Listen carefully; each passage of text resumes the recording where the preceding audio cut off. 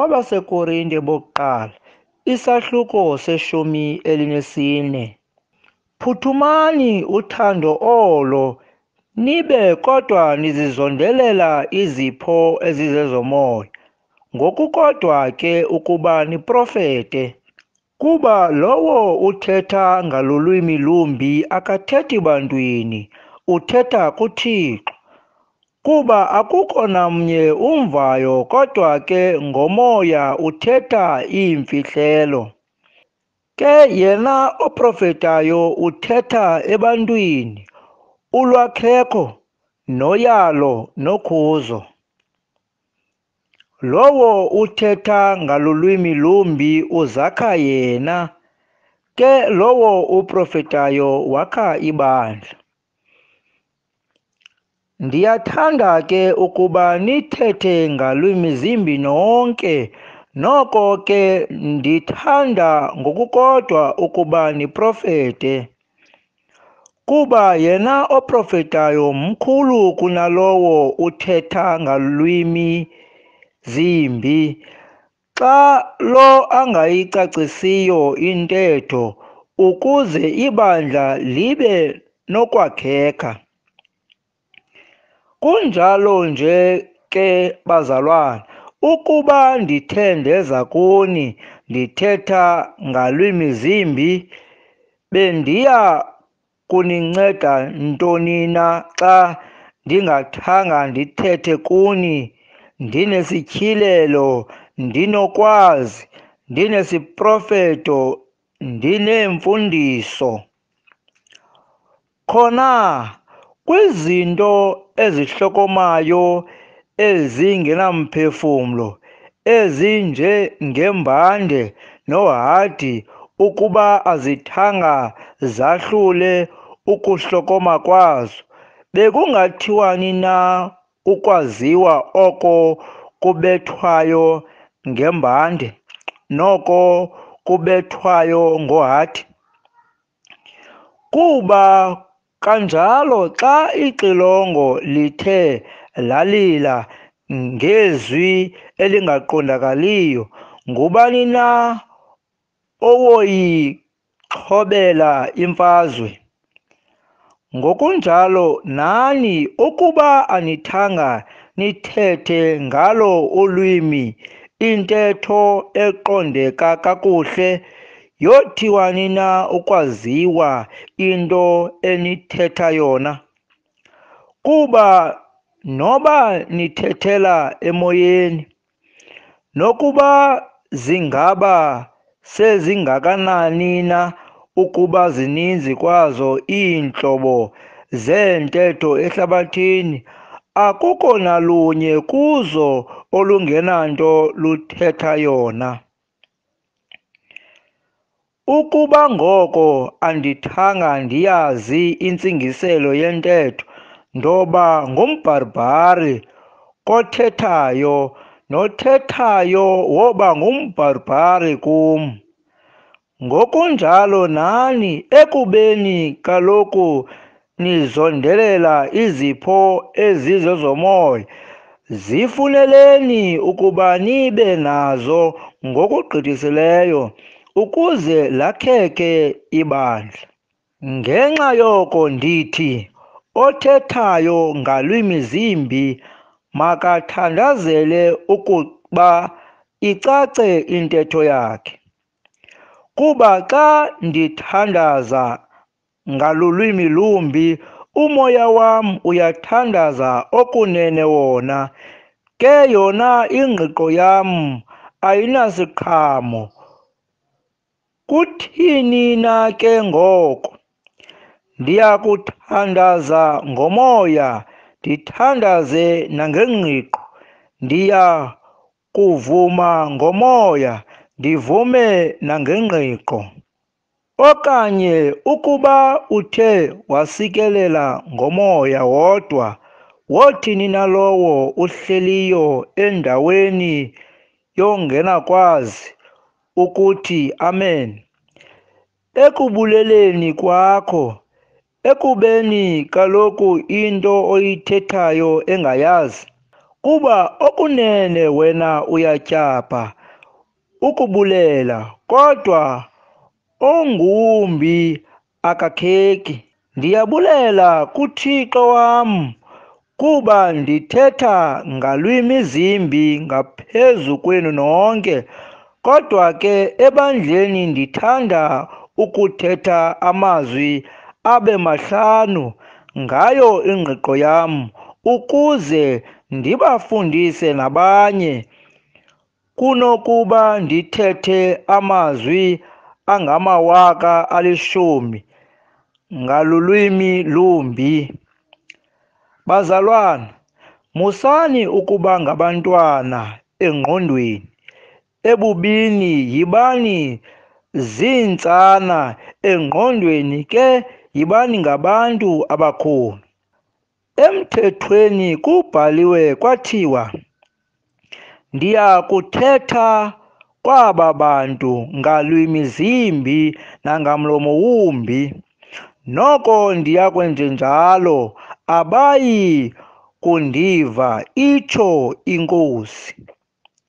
Ngoko ke iilwimi ezi zikho ukuba zibe ngumqondiso kwabo bangakholwayo.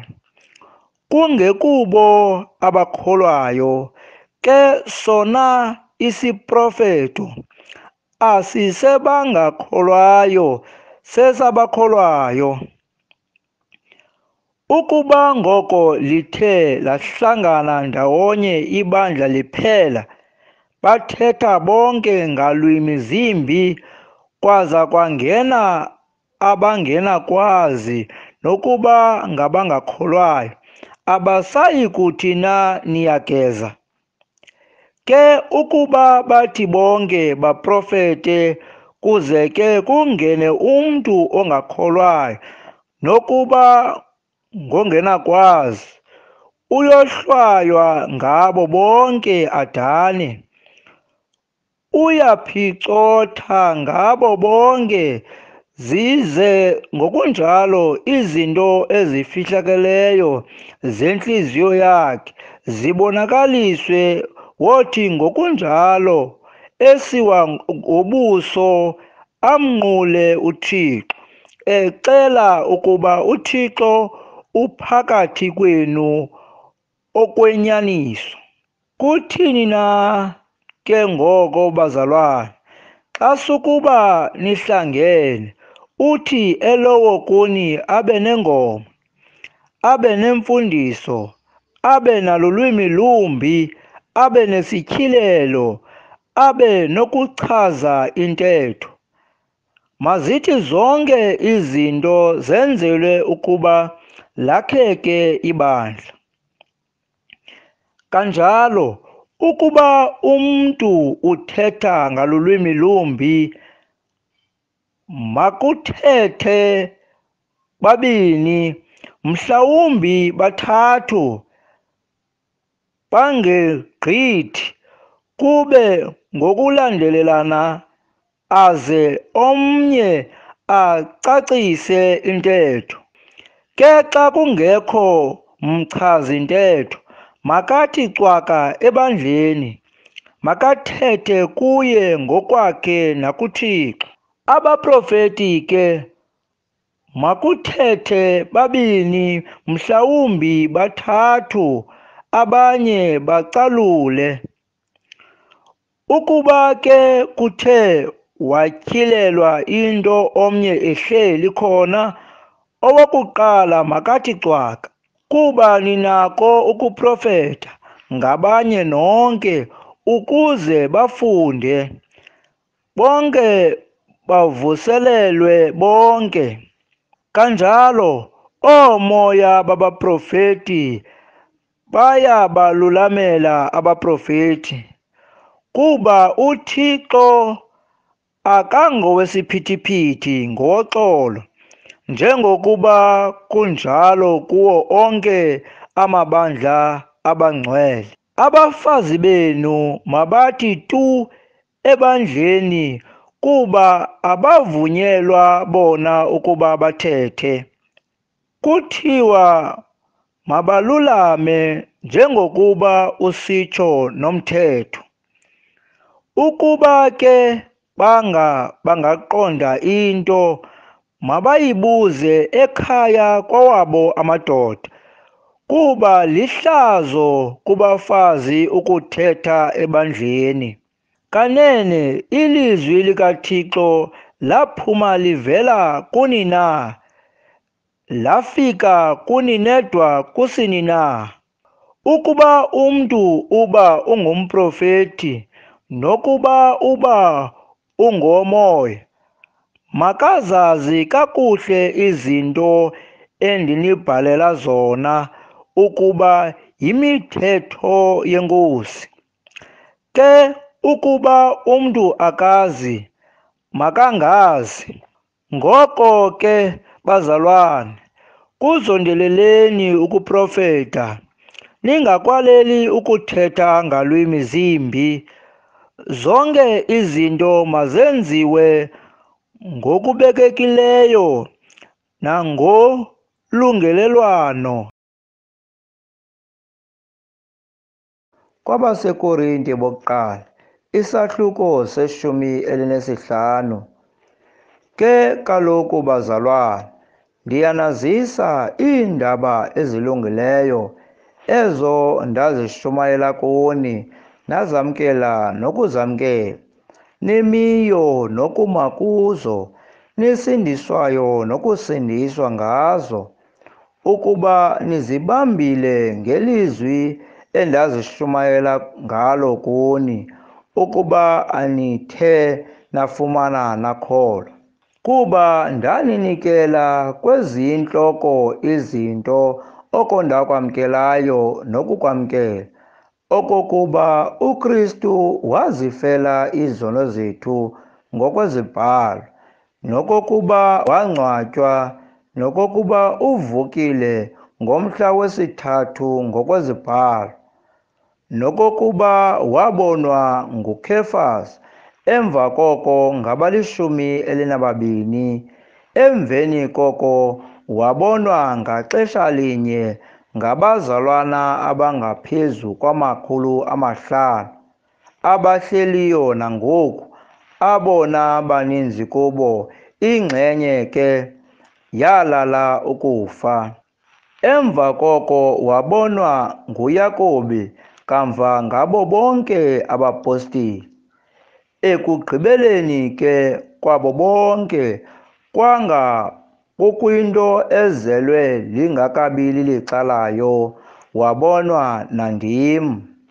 Kuba mna ndingoyena mncinanana kubapostile endingafanelanga kubizwa ngokuba ngumpostile ngenxa enokuba ndalitshutshisa ibandla likaThixo. Ke ngobabalo lukaThixo ndiyinto endiyiyo. Nobabalo lwakhe kum alubanga nakulambatha ndesuka ndabagqitha bonke ngokubaluleka. Ingendim ke ilubabalo lukaThixo olunam. Ke ngoko nokuba ndim nokuba ngabo senjenjalo thina ukushumayela nenjenjalo ke nina ukukholwa. Ke ukuba uKristu uyashunyayelwa ukuba uvukile kwabafileyo batsho ngani na abathile phakathi kwenu ukuthi akukho luvuko lwabafileyo? Ke ukuba akukho luvuko lwabafileyo woba akavukanga noKristu. Ukuba ke uKristu akavukanga koba akunto ukushumayela kwethu. Loba luyalambatha nokholo lwenu. Sofunyanwa ke singawo namangqina amxokayo uThixo. Ngokuba sangqinayo ngoThixo ukuba wamvusa uKristu angamvusanga ukuba ke kanti abafileyo abavuki. Kuba ukuba abafileyo abavuki noKristu woba akavukanga ukuba ke uKristu akavukanga loba luyinto engeyanto ukholo lwenu noba nisesezolweni zenu ngoko nabalele ukufa bekuKristu boba batshabalele. Ukuba singabathembele kuKristu kobu bomi bodwa soba sizezona ntsizana kubantu bonke. uKristu yena kunje uvukile kwabafileyo waba yinhlahlela yabalele ukufa. Kuba ekubeni kaloku kungomntu ukufa kukwangomntu ukuvuka kwabafileyo. Kuba njengokuba kuye uAdam bafa bonke ngokunjalo nakuye uKristu baya kudliswa ubomi bonke. Elowo ke kolwakhe uluhlu inhlahlela inguKristu kamva abakuKristu ekufikeni kwakhe kwandula ke ukubakho isiphelo. Xa athe wabanikela ubukumkani kuye uThixo uyise. Xa athe wabubhangisa bonke ubulawuli nalo lonke igunya namandla kuba umelwe yena kukuthi alawule ade azibeke phantsi kwiinyawo zakhe zonke iintshaba. Olokugqibela utshaba oluya kubhangiswa kukufa kuba izinto zonke wazithobela phantsi kweenyawo zakhe. Ke xa athi izinto zonke zithotyiwe kuyabonakala ukuba akabalwa lowo wazithobela phantsi kwakhe zonke izinto. Xa ke zithe zathotyelwa phantsi kwakhe zonke izinto uyakwandula nonyana ngokwakhe athotyelwe phantsi kwalowo wazithobela phantsi kwakhe zonke izinto. Ukuze uThixo abe zizinto zonke kubo bonke okanye bayakwenza ntoni na abo babhaptizelwa abafileyo? Ukuba abafileyo abaze bavuke yini na ukuba babhaptizelwe nokubhaptizelwa abafileyo? Nathi yini na ukuba sibe semngciphekweni amaxa onke ndisekufeni imihla ngemihla? Qondani ngokuzingca kwam ngani endinako ndikuKristu Yesu inkosi yethu.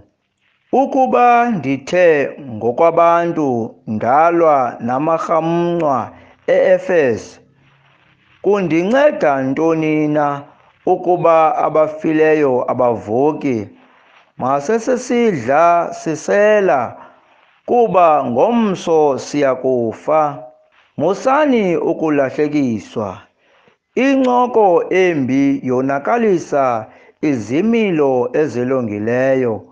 Qabukani kakuhle ningoni. Kuba ingxenye inentswela kumazi uThixo.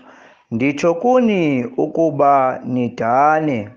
Wosuka ubani athi bathini na ukuvuka abafileyo? Beza benamzimba unjani na?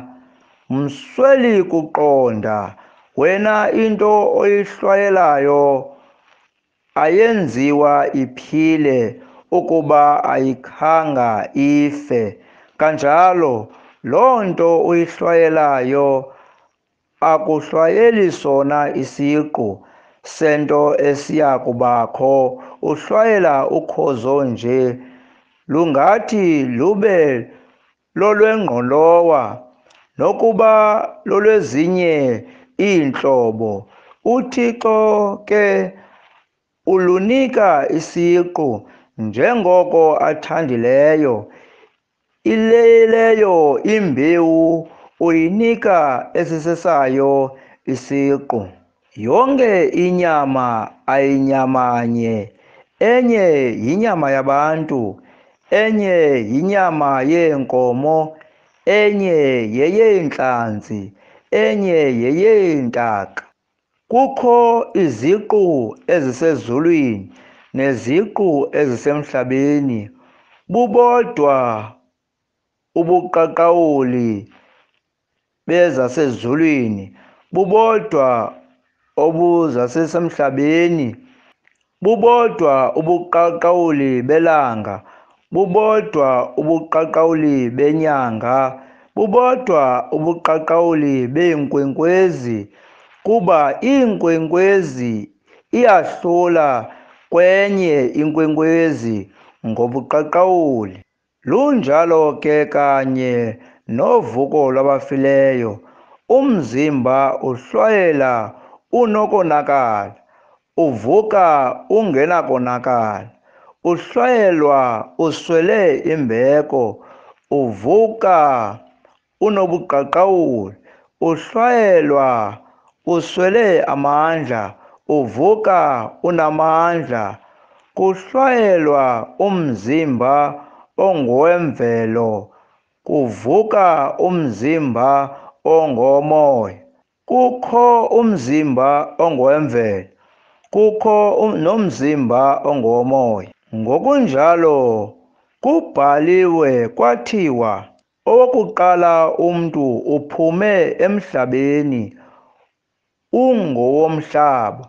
Owesibini umntu inkosi uphume emazulwini. Into ayiyo owomhlaba bakwayiyo abomhlaba kanjalo nento ayiyo osemazulwini bakwayiyo abasemazulwini.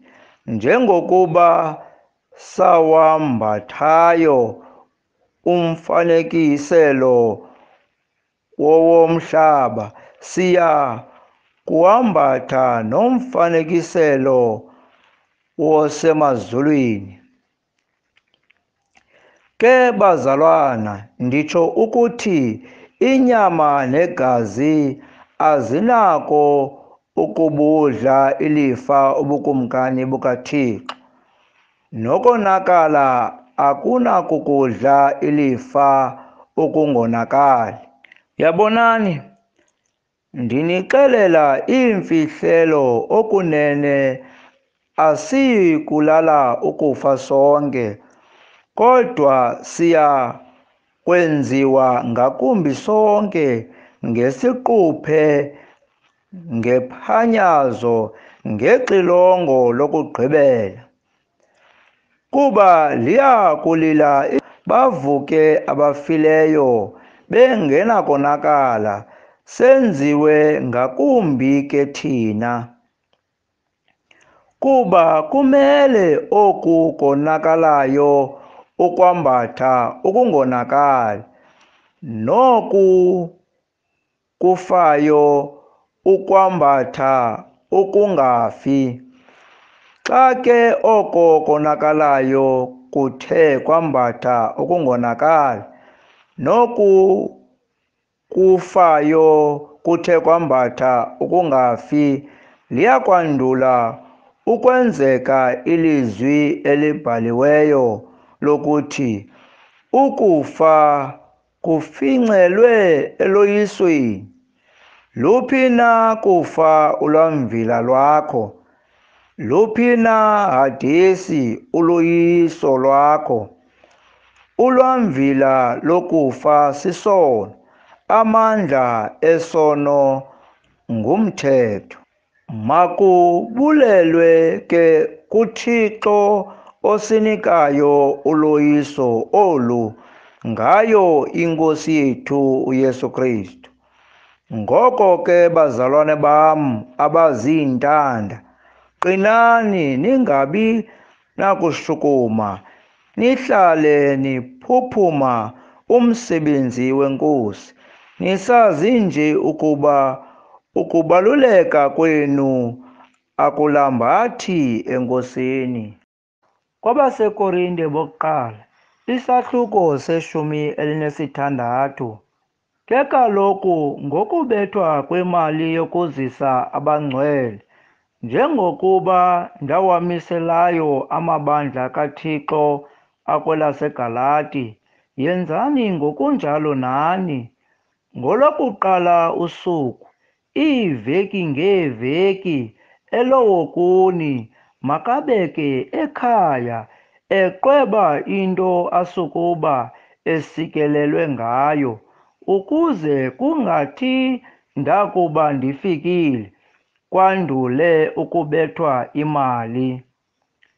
Ke ndakuba ndifikile enisukuba nibacikidile nakholwa ngabo ndobathuma bona benencwadi base isipho senu esi eYerusalem.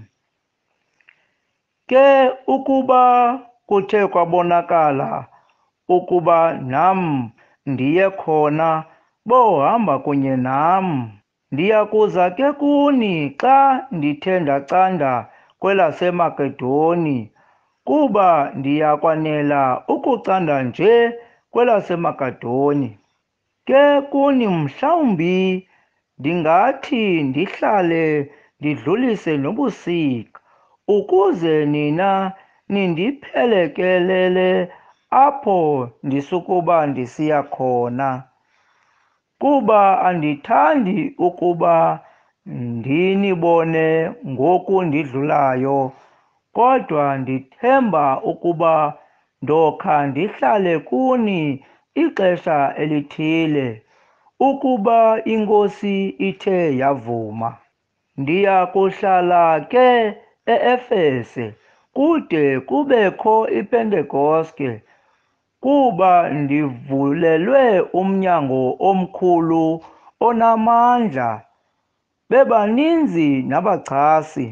Ke kaloku ukuba uTimoti uthe wafika ize nikhangele ukuba angabi nakoyika phakathi kwenu kuba uyawusebenza umsebenzi wenkosi kwanjengam ize kungabikho bani ngoko umenza into engento? Mphekeleleni ke nixolile. Ukuze eze kum kuba ndimlindile kunye nabazalwane.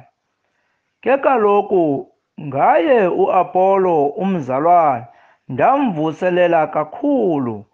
Ukuba eze kuni kunye nabazalwane. Kuye akubangakho kanye ukuthanda ukuza okwa kaloku nje woza ke xa the wanethuba elilungileyo. Phaphani yimani elukholweni yibani ngamadoda yomelelani? Zonke izinto zenu mazenziwe ninothando. Ke kaloku ndiyanivuselela bazalwane. Niyayazi indlu kaStefano ukuba intlahlela yelase-akaya nokuba bazimisele ukulungiselela abangcwele. Ukuze nani nibalulamele abanjalo nabo bonke abasebenzisana nathi emsebenzini nababulalekayo. Ndiyavuya ke ngokufika kukaStefana noFortunato noAkayiko ngokuba bakwenzelele bona ukungabikho kwenu kuba bawuphumzile umoya wam nowenu. Bazini kakuhle ngoko abanjalo. Ayanibulisa amabandla kaThixo akwelase-Asiya. Bayanibulisa kunene enkosini uAkwila noPrisila kunye nebandla elisendlini yabo. Bayanibulisa abazalwana bonke. Bulisanani ngolwango olungcwele? Umbuliso ongesami isandla mna Pawulos ukuba ubani akayithandi inkosi uYesu Kristu makasengelwe phantsi inkosi iyeza ubabalo lwenkosi uYesu Kristu. Malube nani? Uthando lwam malube nani nonke bakuKristu Yesu.